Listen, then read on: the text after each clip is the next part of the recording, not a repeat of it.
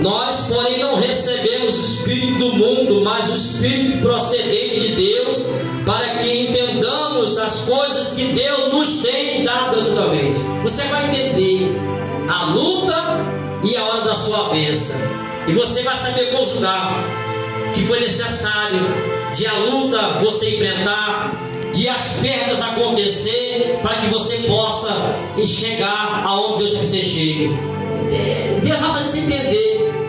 Quem dá entendimento chama-se Espírito Santo. Porque no momento da, da, da, emoção, do calor humano, a gente fala para se pensar, né? A gente murmura, a gente questiona, a gente diz que Deus não está olhando mais para nós, a gente diz que não é melhor nem caminhar mais para a igreja. O diabo vai começar a lançar até as setas para você não caminhar para a igreja. Mas Deus está dizendo para você por essa palavra. Aleluia. Nós, porém, não recebemos espírito do mundo, mas o espírito procedente de Deus, para que entendamos as coisas que Deus nos tem dado gratuitamente. É de graça que você recebe as bênçãos de Deus. Não precisa fazer sacrifício de tolo, como muitos estão fazendo por aí afora, não, inventando moda, não.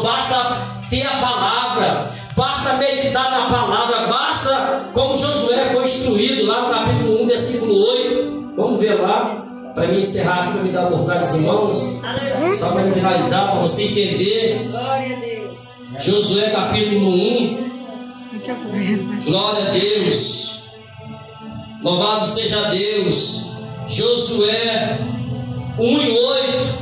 Aleluia. Não deixe de falar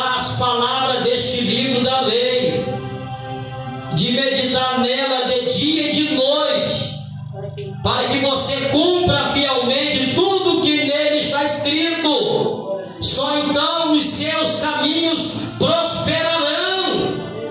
Está vendo aí, irmãos? E você será bem sucedido. Não fui eu que te ordenei a você.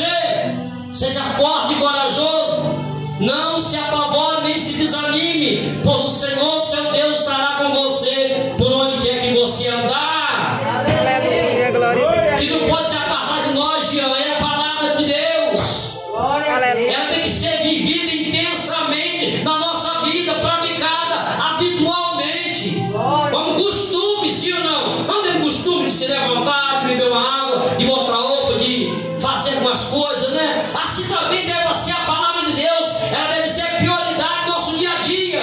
Glória a Deus. Nunca podemos dizer que não temos tempo para ela, porque se não tiver tempo para ela, vai viver perdendo tempo. Aleluia. Mas quando você tem tempo para ela, ela abre o quê? A sua mente e a sua visão espiritual.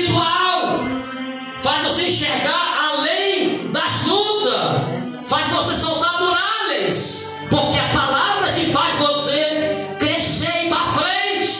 Não te retrocede. Pelo contrário, te faz você ter fé.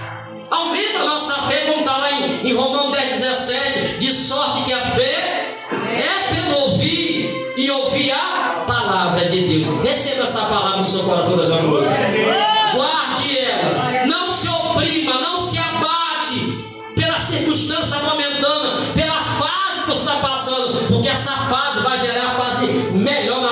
Na tua vida. Deus vai fazer algo maravilhoso que aqueles que criticaram, que zombaram, que até deram prazo para você sair de cena ou algo se acabar na sua vida, eles vão ter que ver o prazo sendo esticado e a bênção sendo multiplicada na tua vida e dizer assim: rapaz, Deus era na vida dele, dele mesmo, porque eles foram perseverantes, eles confiaram no Deus dele, na palavra. Olha aí agora a bênção, glória a Deus.